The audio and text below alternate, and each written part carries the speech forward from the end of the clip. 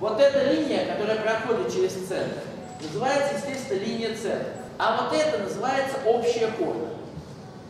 Так вот, задача. Докажите, что линия центров перпендикулярна общей хорде и делит общую хорду пополам. Это совсем просто. Между прочим, был такой замечательный географ Игорь Федорович Шарин. Э, В честь него даже уже много лет, э, к сожалению, умер некоторое время назад, но вот э, после его смерти стали проводить геометрическую олимпиаду имени Шарина. Да? Много-много лет проходит. Книжку по геометрии он начал с такой задачи, которая, честное слово, даже еще легче этой.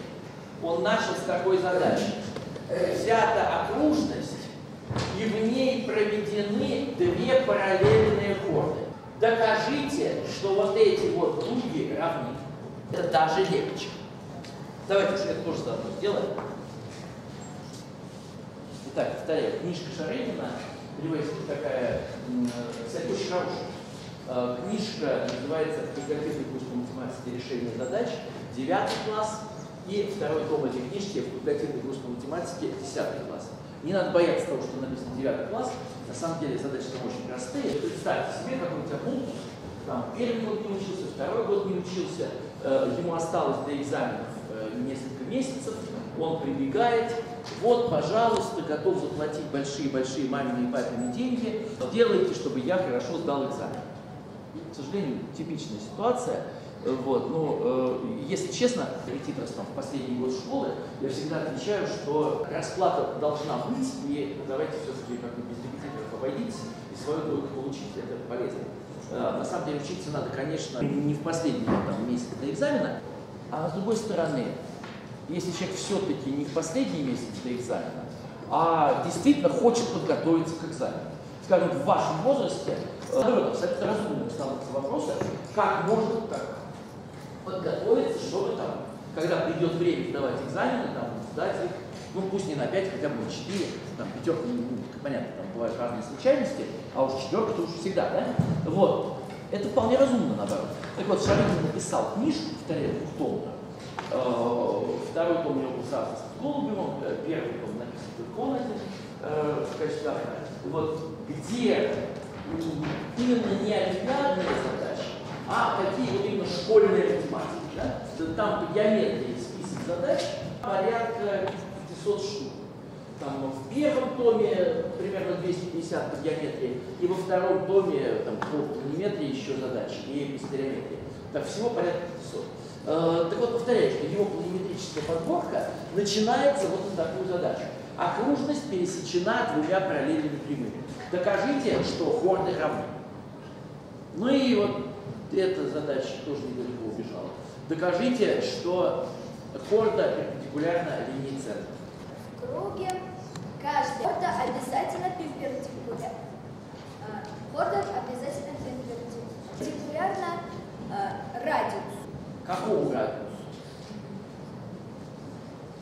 Э, противоположному. Не понимаю. Что-то непонятно. говорит. Вспомните, что вы только что решали. Задача 105, но э, это радиус, если выходящий из центра, упирающийся в центр хорда, В середине. в середину У отрезка говорят посередине. Да? середину хорда, делит ее на две части, э, то есть является. Отлично. Теперь вы видите. Ребят, он намекает на задачу, которую мы сегодня решали. Если соединить центр окружности с серединой любой хорды, давайте отдельно нарисую картинку. Если взять совершенно любую э, окружность и ее хорду, взять середину, соединить с центром окружности, то здесь будет перпендикуляр. Помните такую задачу или нет? Да. Помним. А теперь смотрим сюда. Мы же могли взять середину, и тогда эта самая середина может быть соединена и с точкой О1, и с точкой О2. И там каждый раз будет 90 градусов. А что это реально означает? Смотрите, у вас здесь 90 градусов, и у вас есть другая окружность, та же самая хорда, и здесь у вас 90 э, градусов. А вот этот отрезок, это вот тот самый отрезок. Что происходит, когда они стыкуются? У вас здесь возникает прямая. Правильно хотел сказать? Да. Все? Все правильно? Значит, еще раз повторяю решение. Кстати, это прием в более сложных задачах тоже очень часто срабатывает. Услышьте, пожалуйста, логику рассуждения. Для того, чтобы решить задачу, мы не смотрим на наш чертеж, а говорим такую вещь. У отрезка CD есть середина. Ну как, любого отрезка. Берем эту самую середину. По предыдущей задаче будет 90 градусов, 90 градусов, и тут будет 90 градусов, 90 градусов. Но если у вас здесь 90 и здесь 90, она прямая. Соответственно, середина лежит не там, где я нарисовал, а на самом деле она лежит на прямой у один угол. Так, хорошо, с этим разобрались. Так, а там с двумя параллельными хордами.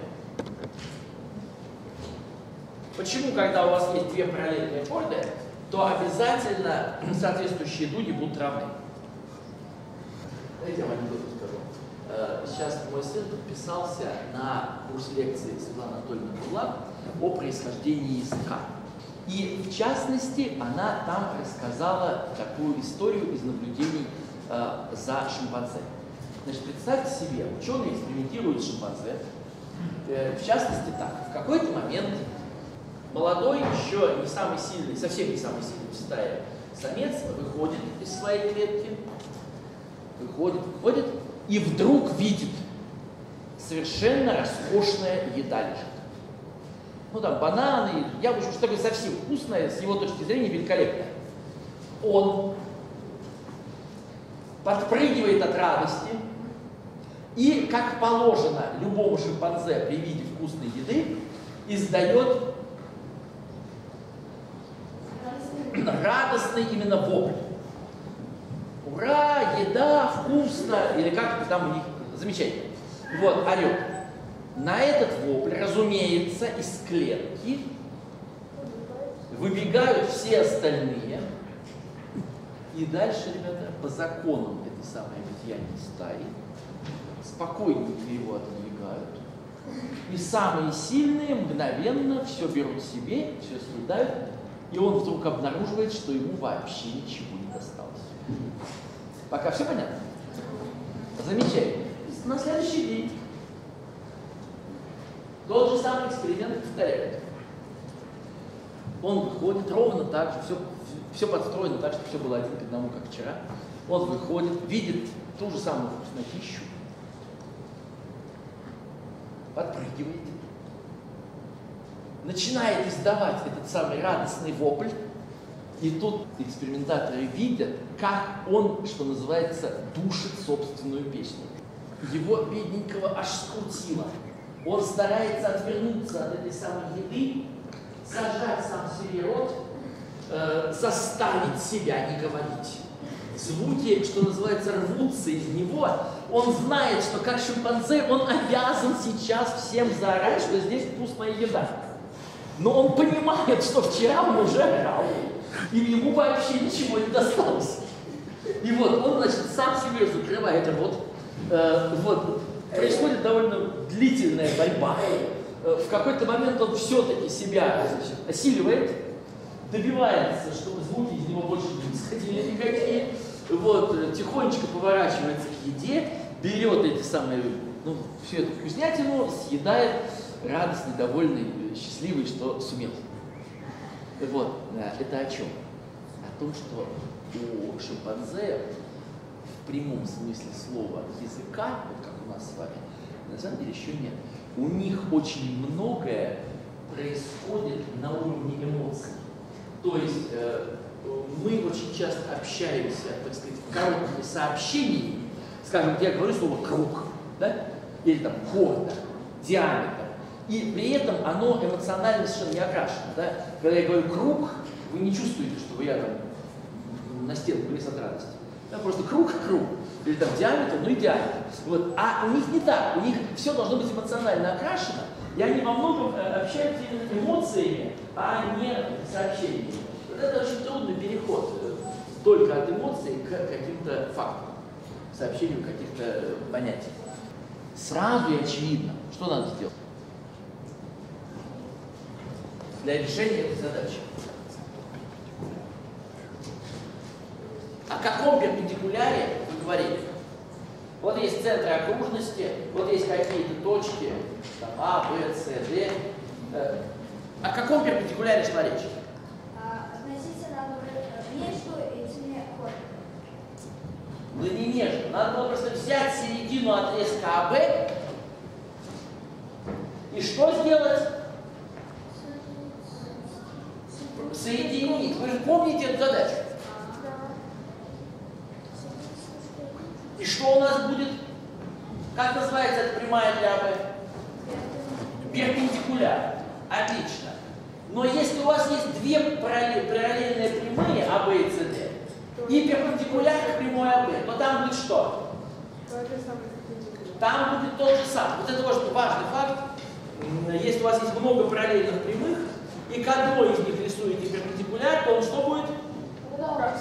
То он будет на самом деле перпендикуляр ко всем. Отлично. Значит, у вас перпендикуляр к отрезку CD. Но что значит, что перпендикуляр к отрезку CD? Это значит, что здесь будет середина, правильно? И здесь мы рисовали через середину. Отлично. А теперь, господа, каким свойством обладают вот эти фигуры? Э, та, что слева, и та, что справа. Они симметричны, конечно. Как называется вот эта прямая для трапеции АБЦД? Как? Ось симметрии, совершенно верно. При этой симметрии дуга переходит вот в эту дугу. Так, отлично. Ну, разумеется, это можно было и при помощи признаков равенства треугольников сделать, но мне кажется намного понятнее сказать, что просто у этой картинки есть такая вот музыкальная.